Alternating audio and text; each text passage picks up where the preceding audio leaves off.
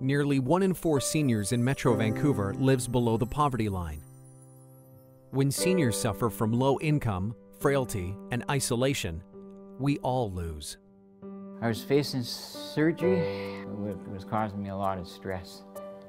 And I didn't know who else to turn to. Homelessness for those over 55 increased by 24% between 2005 and 2008. Val McDonald, Executive Director of the Senior Services Society, has worked tirelessly for over 20 years to strengthen our region's network of senior services.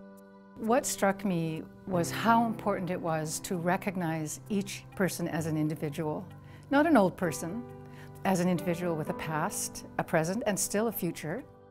McDonald played a key role in an innovative project called Temporary Housing for Seniors at Risk of Homelessness.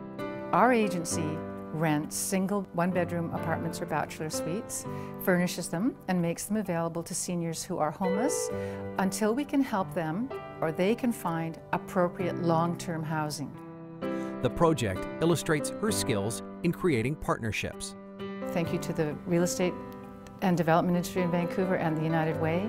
We are working towards developing 20 units of temporary housing fully furnished apartments um, at rent geared to income.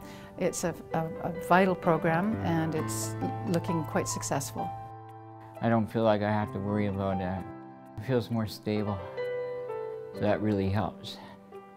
Supporting seniors' independence and participation in everyday life means a more vibrant community for everyone.